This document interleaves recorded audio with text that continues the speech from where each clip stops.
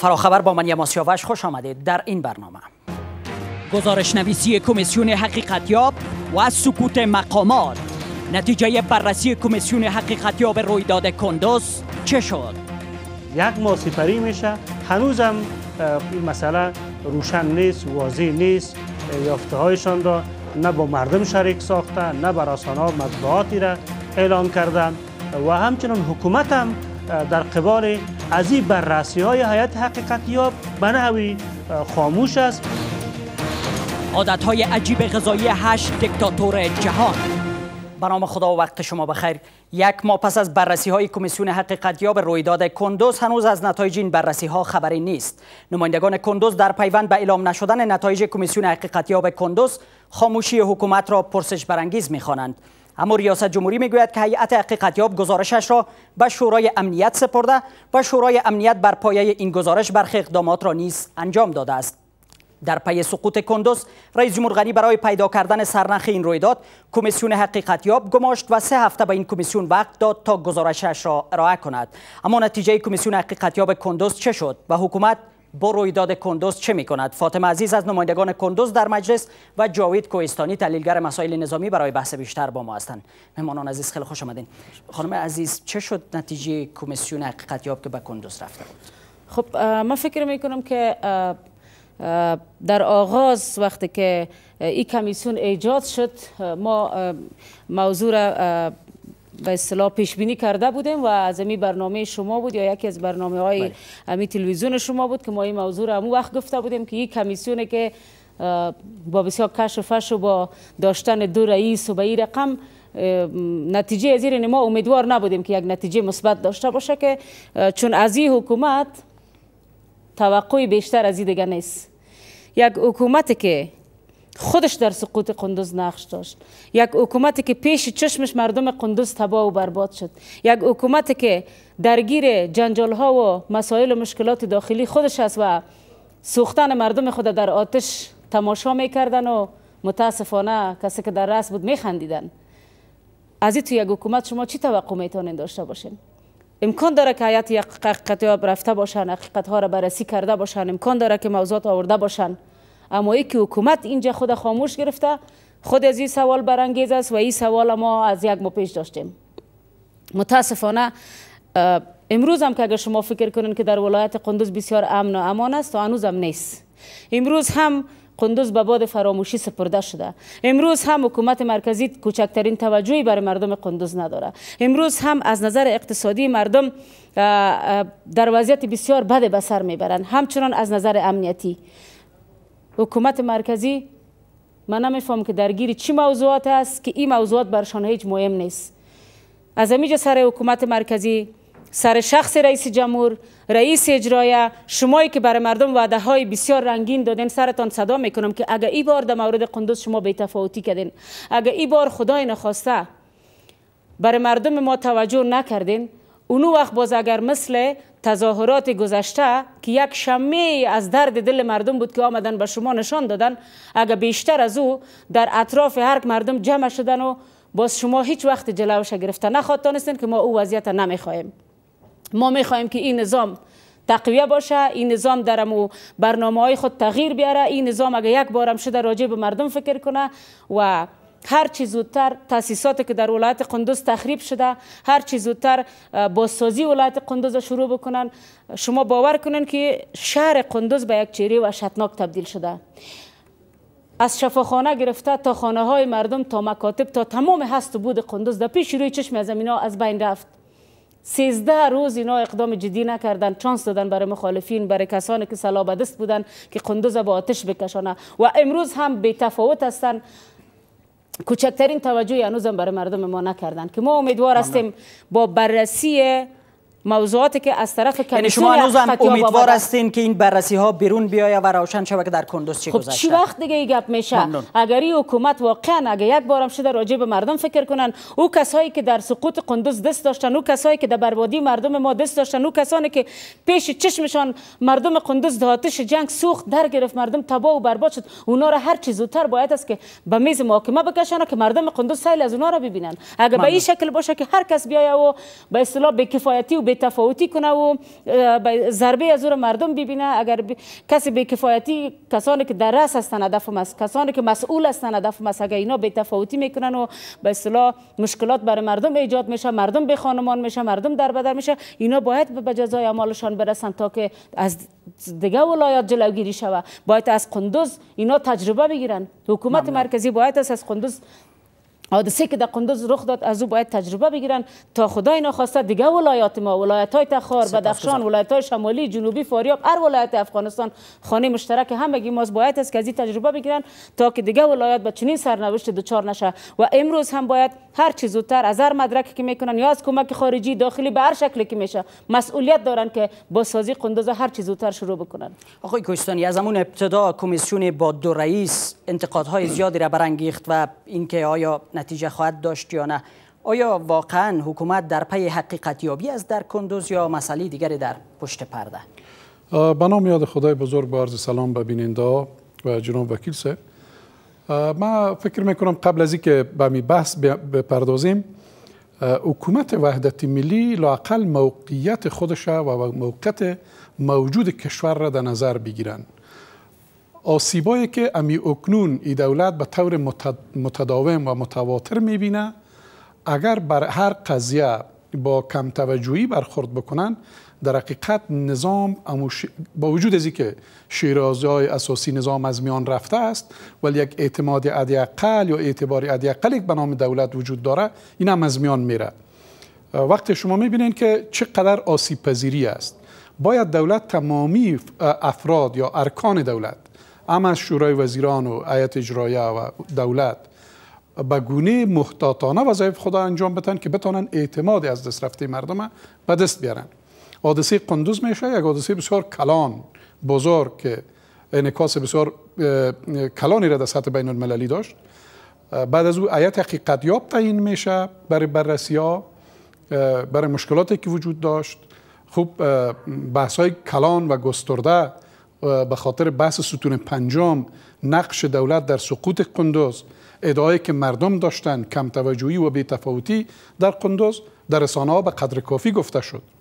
وقتی آیت حقیقت یاب میره ادیقل دولت برای مردم افغانستان در مطبوعات گفتن که ما منتظر هستیم که با آمدن یا دریافتای جدید ما از وقایع قندوز بتانیم کسانی که گناهکار هستند خیانت کردن به ارزش ها وضعیت را پیچیده ساختن مجازات کنیم.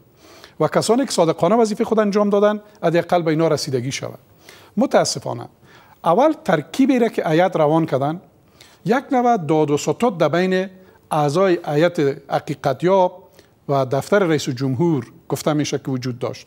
یعنی به بهانه های افرادی را گماشتن که یک نوع رابطه داد و ستود وجود داشته باشه. یعنی وعده های سپرده شوه که اگر بتانه آیت حقیقت یا به نحو حکومت مرکزی را مسئول ندانند و تنظیم بکنن قضایا را در سطح خود قندوز بر از اینا امتیازات در نظر گرفته شود که شما شایعش تا سطح به عنوان وزارت داخله و نمی‌دانم بعضی مسائل دیگه در شبکه اجتماعی زیاد شنیدیم. تا جایی که من اطلاع دارم آیت حقیقتیاب یک گزارش نزدیک به 180 صفحه‌ای را تسلیم شورای امنیت یا دفتر ریاست جمهوری کردن. متاسفانه هیچ گونه تصمیم نسبت به این گزارش گرفته نشده و گزارش بسیار کوشیده شده که به نحو طرف رضایت حکومت مرکزی یا شورای امنیت یعنی شما میگین به نحو حکومت در پی سناسازی بوده از رویداد کندوز به نفع خودش بله به هیچ وجه نخواستن این آیت حقیقت یاب گزارش باید رسما از طریق مطبوعات یک بخش زیره چون بحث قندوز یک بحث بسیار کلان بوده. برای, برای از نظر ایسیتی برای مردم افغانستان برای نظام سیاسی برای جامعه بین المللی یک بخش زیر برای رفع نگرانی های مردم افغانستان باید شریک می ساختن چه کسان مسئول بودند در سقوط قندوز کدام کارا انجام نشده و کدام کارا باید انجام شود؟ که متاسفانه تا جایی که من می‌دانم این گزارش بسیار واقعی بینانه نیست و به مول لحاظ بنا به وعدایی را که دفتر رئیس جمهور و شورای امنیت به افراد این کمیسیون داده اینا را به نحوی تطمیع کردن که واقعیت ها به گونه بسیار جدی انعکاس پیدا نکنه. لاقل خودشون هم این جسارت نکردن که فشرده و چکیده های از این گزارشه برای اطلاع مردم افغانستان برسانند و آمدن بعد از قضیه قندوز و بعد از تعیین آیت شدن سکوت کردن. و بیشتر تا جایی که من می‌دانم بیشترین مسئولیت ها را به اختلافات داخلی ولایت قندوز مرتبط دانستند به قماندان های محلی مرتبط دانستند که به او لحاظ خودی گزارش یک مایه ننگ و شرم شده که ایر افشا کردن نمی‌تونن چون خود از یک غوغای جدید را برپا می‌کنه تا جایی که من از جریان ازی خبر هستم. متاسفانه حکومت افغانستان در چنین یک وضعیت باید حقایق را با مردم شریک کنن بعد از حادثه قندوز در قطع ولسوالی سقوط می‌کنه. شما می‌بینین حادثه اف گروگان به وجود میایه ولسوالی غرماج سقوط می‌کنه قماندان هم شهید میشه افسرای اردو پلیس به شهید میشن. در سنگین دیروز شما می‌بینین که حادثه طوله چهارم کندک سوم لوای دوم در یک وضعیت بد قرار داره میال وضعیت لوای دوم اردو در سنگین. هیچ رسیدگی نمیشه. شهدا چندین هفته و زخمی چندین هفته در قرارگاه باقی میمانند. مظاهره کلان علیه حکومت میشه. قضیه کابل بانک به وجود میاد و شهرک اوشمن شکل می‌گیره. هر روز آبروی نظام میره. ما حداقل خواهش از مدیرای نظام است که یک بخش از این بحران قابل مدیریت است. شما ظرفیت کنترل کردن و مدیریت کردن حداقل بحران را دارین اما این بحران زاده از درون نظام است. قضایای شکل می‌گیره که مردم این توقع ندارن. هر روز اعتبار حکومت اعتبار نظام اعتبار ساختار از بین میره و مردم نگرانیش بیشتر میشه این قضیه. ما امیدوار هستم که قضیه حداقل اگه دولت افشا نمی‌کنه حقیقت هایی که در گزارش نکاز یافته باید کسایی که ایعت بودن به خاطر حفظ عزت آبرو و اتوریتی اگر اون مسئله را که شما میگین که اگر معامله میان این کمیسیون و ارک صورت گرفته باشه که اگر چون این جرأت به خرج نخواهد داد؟ تمام شایعه ها و اطلاعات شاید نادرست قبل از این قضیه بوده که به کسان وزارت به کسان ولایت و به کسان چیزهای بیشتر از این وعده شده است. اگر چنین نیست حداقل امی اعضای کمیسیون بخش چکیده فشرده از این گزارش که ما در این مورد حقایق گفتیم. تا جایی که ما شنیدیم والی برایت گرفته در این گزارش. بسیاری از مسئولین در اونجا برایت گرفتن. و نقش واقعی ستون پنجما و کسایی که در اونجا در براندازی نظام سعی کردن اینا تبرئه شدن. مثلا کسایی که در گذشته در شبکه‌های اجتماعی در مورد چون حرفای گفته شده. اونا کلش تبرئه شد.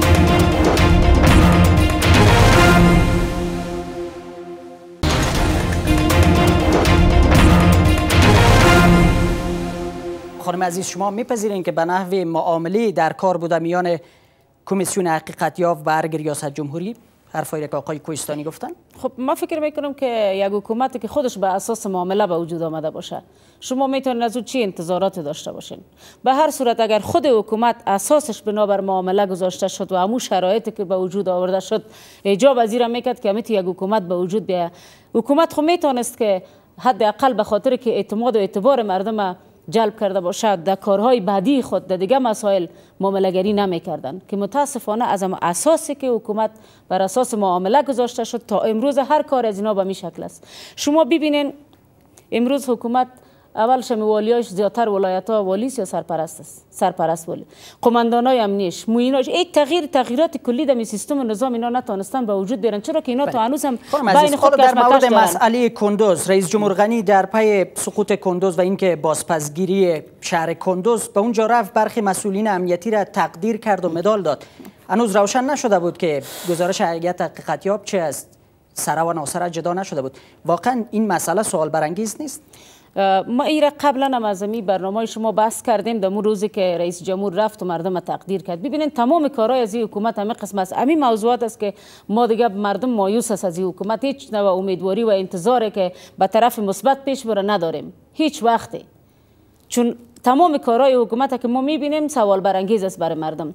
شما ببینین امیال هیئت حقیقتیاب رفته به خاطر از اینکه حقیقت پیدا کنه و بیاره بود که پیش از اینکه هیئت حقیقتیاب گزارشش را ارائه بکنه رئیس جمهور میره برخی را تقدیر می‌کنه. یعنی چی؟ این خود سوال برانگیز است. پشت پا اول خود بله اولش اینا میماندن که نتیجه کار هیئت حقیقتیاب معلوم می‌شد که بالاخره سلامت و ملامت معلوم می‌شد و بعد از او اینا تقدیر می‌کردن. اینا کسانی را که واقعا اونا مسئول بودن به اصطلاح مردم فکر می‌کرد که اونا در این قضایا دخیل هستن اونا را تقدیر کردن.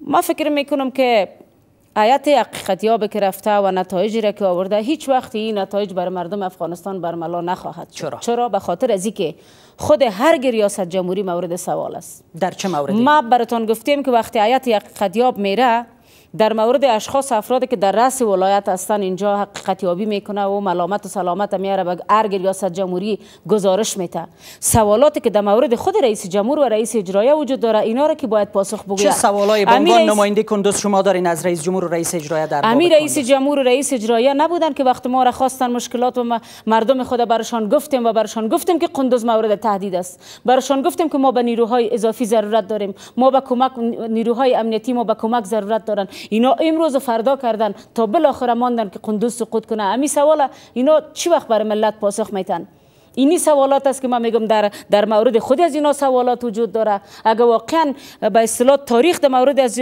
قضاوت می‌کنه و اگر واقعا در این وطن نسل آینده از این وطن هوشیار و بیدار باشه. اینا را روز مورد بازپرس و و محاکمه قرار میده. اینا امروز خودشان بر سر قدرت هستن. این چانس برای مردم مساعد نمیشه که اینا را مورد بازپرس قرار بدن. اگر در پارلمان هم این موضوع بس شوه شاید این موضوع در اونجا هم کشمکش های به وجود بیاید که من فکر می‌کنم در پارلمان هم فعلا وضعیت به این شکل نیست که فرزن اینا رئیس جمهور یا رئیس اجرایی را بخواین برای پاسخگویی. سوالاتی که در مورد خود از ایناست باید جواب بدن.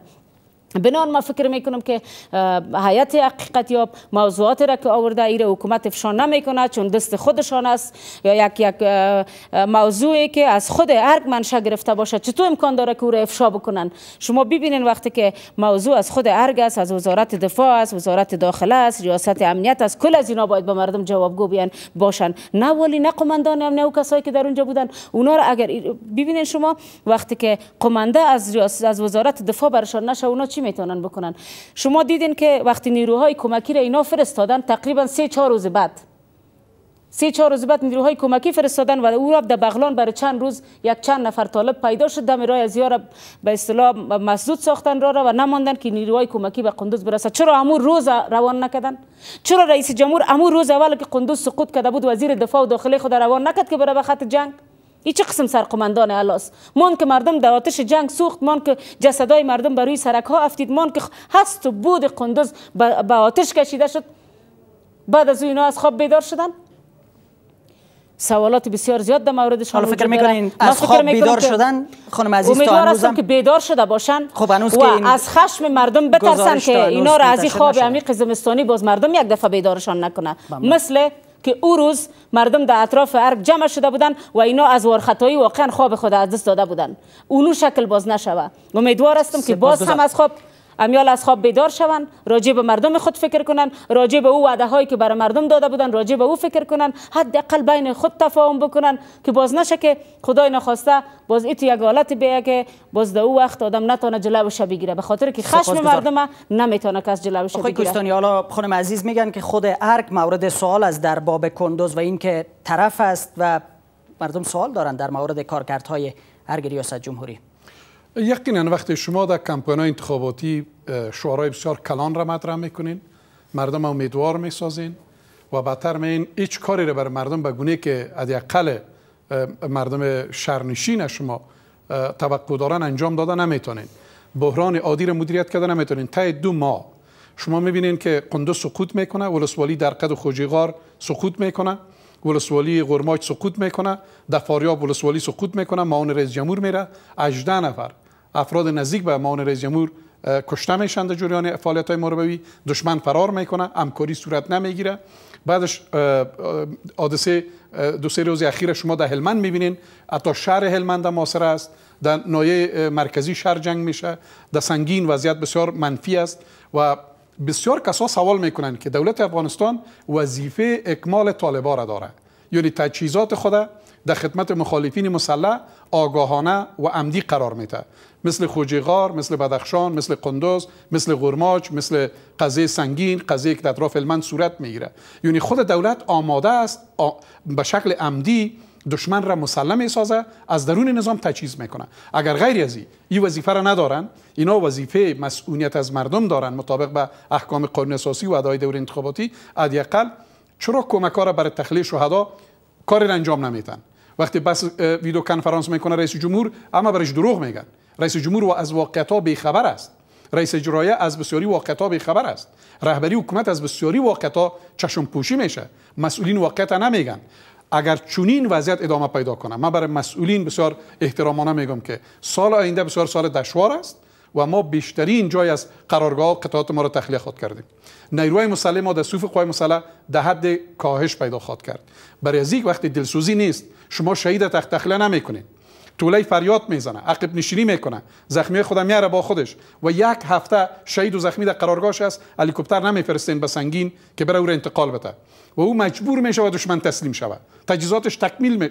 تمام میشه. مهماتش تمام میشه. زخمیاش از از خون میتن میمیرن. اگر چنین باشه آقای کوهستانی که خود دولت مردای افغانستان طالبان را تقویت بکنند خب در پشت سر چه جریان داره ببینید وقتی مردم میگن چه نفع میرسانه وقتی مردم میگن که ستون پنجم وقتی مردم میگن خود نظام معناش چی است؟ وقتی لوای دومه کلگی خبر میشن که سه هفته از محاصره است. تمام ظرفیت های خود از دست میتن شهید میته زخمی میته از قرارگاه پستا میبرایه ولسوال و قماندان امنی ولسوالی سنگین میان به مرکز. پلیس جنگ نمی‌کنه. چرا وزارت دفاع افغانستان تصمیم نمی‌گیره؟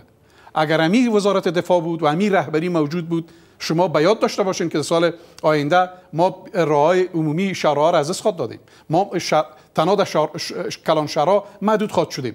من متاسفانه هیچ احساس مسئولیت در رهبری حکومت افغانستان نمی‌بینم.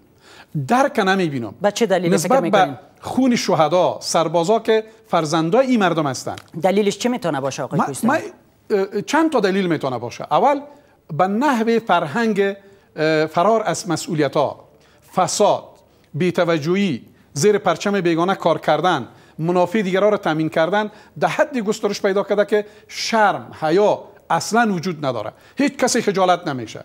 شما کسایی را می‌بینین که از مال بیت المال از ایاشه امی سرباز. مالک بلند منزلا هستند ولی هیچ خجالت نمی‌کشه. وقتی شما را می‌بینه چنان امرای شما گرم نزدیک میشه که هیچ احساس نمی‌کنه که شما می‌دانین که یک دزد است.